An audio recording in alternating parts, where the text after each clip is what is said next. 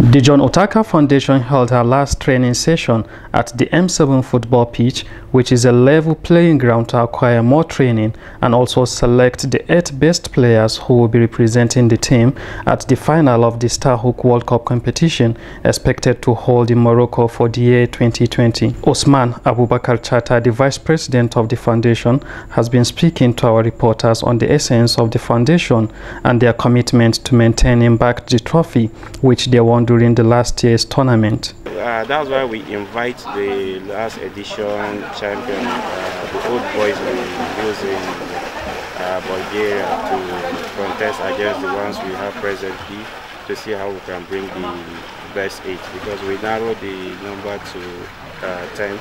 So today at the end of the friendly match between the last edition champion and this present ones will remove the eight players that will represent the country. Uh, well, our objective is to see these uh, young boys happy. I think that is the main thing to uh, remove them from the, the streets, engage them in something that maybe is uh, maybe I would say are what they choose to be their career. That's just our joy. Some of the eight players who have been successfully selected to represent Nigeria at the Morocco SATUC World Cup competition also speak on their preparedness to win back the trophy from the tournament.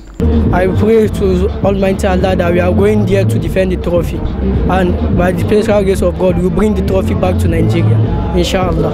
I'm going to support the team to defend this trophy again to bring it back to Nigeria. Sir. We are going to defend our cup that we won to last year. I'm here to defend the champion in Morocco by winning the trophy back to Nigeria and I'm sure that by God's grace we'll get there and win the trophy back to Nigeria. And uh, I'm very happy to be selected uh, to be among the team that will go to the 2020 Morocco SATUC World Cup and I think we're going to defend our cup. I just think if we work together as a team and believe in ourselves and believe in our coaches, by God's grace will, we will defend the cup.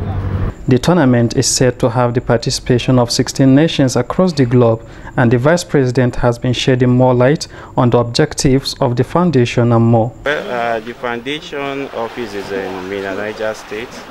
Uh, it's not because it's a Minna and it's meant for uh, youth from Minna. No, we have boys from Kogi, Abuja, as I said from the beginning, Kaduna, Ogun, and I think one other state from the south as well. We have somebody from Enugu. Well, uh, the dream of the founder, uh, Sheikh Al Thani, is to see if she can pick uh, the best talents to groom them into becoming uh, professional footballers. I am Sani Muhammad Lawal reporting for NSTV News.